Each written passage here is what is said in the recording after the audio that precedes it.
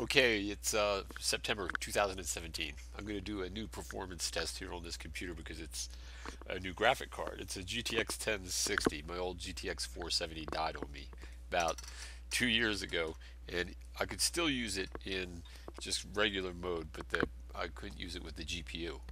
So uh, I still have the old same old CPU. It's 13 frames a second. Well, that's not so great actually. 30 frames a second.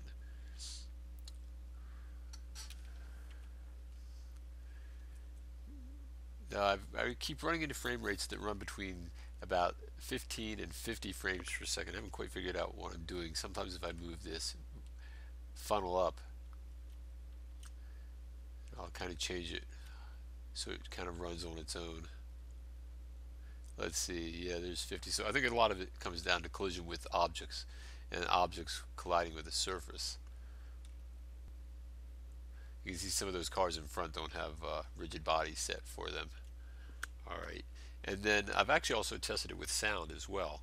And that's actually working out quite well. So it's kind of like for the first time in literally decades, it's like the personal computer has finally arrived to the point where I can actually start doing something reasonable using enough math and physics that I like. In fact, I'll record some with some sound here in the near future as well because it really brings this thing to life.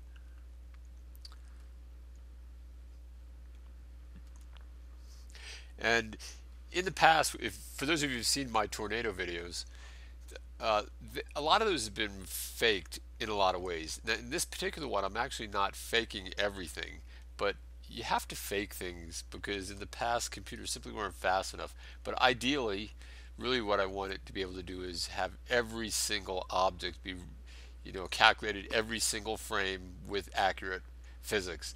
And even though the graphic cards are really powerful these days as far as draw speed is concerned, they still don't have the CPU power to be able to do a lot of vector calculations. And that's really what's required to move things accurately. Some of these things are actually, maybe about 150, 200 objects in here are being accurately moved. And then I have other ways that I fake the other movements. So I'll, I'll do a recording here with the audio only without any narration and then you'll see what the difference is between having some nice sound in a program as well. Alright, I'll see you in the next video.